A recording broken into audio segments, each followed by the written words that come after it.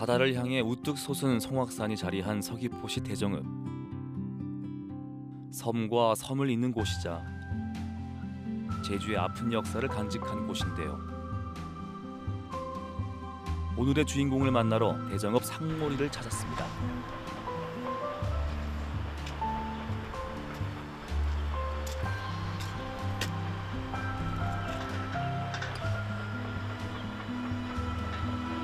사나 사나 한라 사나 사녀 이제는 말문을 열어라 너희 장엄한 얼굴처럼 힘이 나오르는 천둥 소리로 옥상에 올라 한라산을 향해 서던 힘껏 소리를 내지릅니다. 힘찬 필체로 써내려간 글에는 사연이 한가득 담겨 있는 듯한데요. 소리 높여 글을 낭독하는 어르신 무슨 말씀이 하고 싶은 걸까요? 고구마 심고 조 심는 마음 어디에 비할까 봄이 되면서 농촌에도 농번기가 찾아왔습니다. 오늘의 주인공 강창희 어르신도 밭일이 한창인데요. 일을 마치고 돌아와 좀 쉬나 했더니 마당에 앉아 무언가에 열중합니다. 저는 강창유입니다. 에, 농사를 지으며 생각나면은 시도 종종 씁니다. 시를 쓰는 농부의 사연 한번 들어볼까요? 요 중간에 젊은 분들이 시 등단했다, 시 등단해 가서 들어보니까 아, 그 어려운 거 아니로 젊은 시인한테 가서 이거 다섯 개 썼으니까 올려달라 될까요? 아, 올려달면 될까냐고는 18일 만에 통보 왔어요. 합격됐다고. 하이 눈물 나고 싶은 그런 그 심정이 있어요. 와, 내가 시인이 됐구나. 어르신의 첫 시집엔 고향의 이야기들로 가득했습니다. 송악산 너의 밑에 진지굴은 동남아 제일인데 햇빛 그리워 울고 있단다. 가파도 바다 그리움으로 사랑을 휘돌아 감는 파도는 해녀 몸 돌돌 감아 너와 나의 정 얼마나 깊느냐고 소리소리 지른다. 살아온 이야기를 시로 표현하는 어르신. 시를 쓰게 된 특별한 계기가 있었는데요. 초등학교 다닐 때인데 퇴근해 가지고 초록소리 나올 때 요쪽에 오고 보니까 하모 사람들 송장을 싣고 울면서 가는 걸 내가 목격했지. 제가 너무나 억울하고 슬프다. 이건 아니다. 세상에 어디 이런 세상이 있느냐. 후세 사람들이 알리기 위해서 후세 사람들에게 아, 이 당시는 이런 사건이 있었구나. 알리기 위해서 더 시를 쓰는 거지. 그래서 어르신의 시집엔 사삼과 관련한 시들이 곳곳에 담겨 있습니다. 구름을 타고 온 바람 소리에 섣달 오름 생각이 문득 아 견우증녀가 만나는 그날 새벽 이슬이 피가 되어 그리운 님 만나면 죄 없는 영혼 밝혀졌다고 치는 소리가 저 하늘에 소리네 아픔을 혼자 간직하기보단 함께 이야기할 때 치유가 된다고 생각하는 강창유 시인. 그것이 어르신이 시를 쓰는 이유인데요. 봄비가 쏟아진 3월의 끝자락, 마을 어르신들과 시 투어를 떠났습니다. 도착한 곳은 사삼의 아픈 흔적이 남아있는 곳이었는데요. 10살 때 기억이지만 여든이 넘은 지금도 그때 기억이 생생하다고 합니다.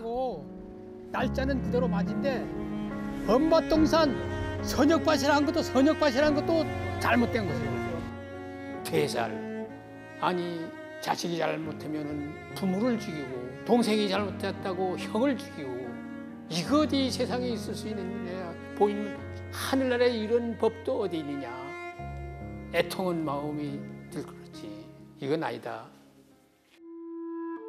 아직도 애통한 그 마음을 시에 담아봤는데요. 피 바람 부는 사삼 사건 1948년 12월 13일 이곳에서 아무 죄도 없는 사람들 대살한 곳이다.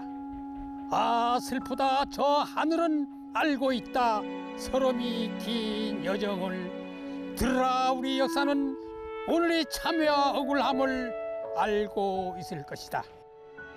대사를 목격한 주민들도 악몽이었습니다. 그때 그 당시에 제가 다섯 살 여기서 다섯 살 우리 누님네 집에 우리 누님네 집 어머니하고 일로 가는데 우리 어머니가 치마폭으로 잡아 당겨본 거라 나를 뭐, 뭐, 보지 말아라 그래가지고 총소리는 나고 그래서 겁났던 게 지금의 시에서 생각나는 게 바로 시세가니까 제일 슬픈 일이지 지역 방향이 틀려 지역 들고 이것도 수십 년간 모두가 숨죽이고 살아왔던 세월입니다. 사삼에 관한 시를 낭송할 때면 강창유 시인은 특별한 감정을 느끼게 된다고 합니다. 사삼 사건 당시에는 시를 못 썼어요. 시 썼다가 끌려 들어가. 거기에 대해서 시 썼다가 이 자식. 그래서 거기에 모인 모든 사람에게 알리는 그 기분이 얼마나 좋은 줄 알아요? 몰라요? 안 겪어보면. 알린 사람들, 아, 그렇구나. 그때 기분이 하늘을 찔것 같아.